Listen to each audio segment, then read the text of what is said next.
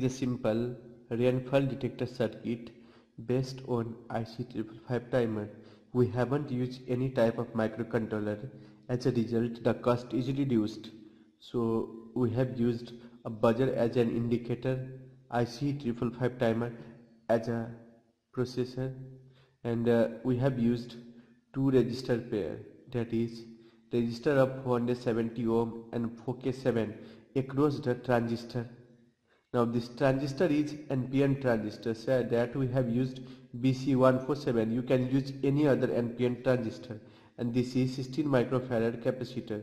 Similarly this is a rain sensor that is based on LM393 LM393 comparator IC but we won't be using the whole circuit. We will only be using this rain surfaces.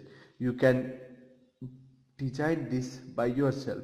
This is actually FC37 rainfall detector circuit but you can design it by yourself as well at home. So we'll be only using this rainfall detector. So this has two sides. One has side with metal and other has plastic coated side. So we'll be inserting it at the base of a transistor so it is successfully inserted. Now we'll power this circuit by 9 volt power supply. The output of rainfall detector is uh, linked with base of a transistor with 100 kilo ohm resistor. So you can see now my finger is dried.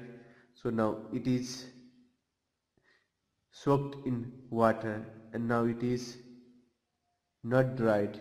It is wet. So now let's put my finger. So you can see. It's very sensitive circuit. As soon as my hand are placed over rainfall detector circuit the buzzer started glowing sound. So you can see the result again. Again. Again. So very very sensitive circuit. So this is a simple indication. So now let's took watch over from the next side. So this is the next side. So I will do the same thing again. I will place my finger over this circuit so same result touched and same result. Thank you for watching. Find the circuit diagram on the link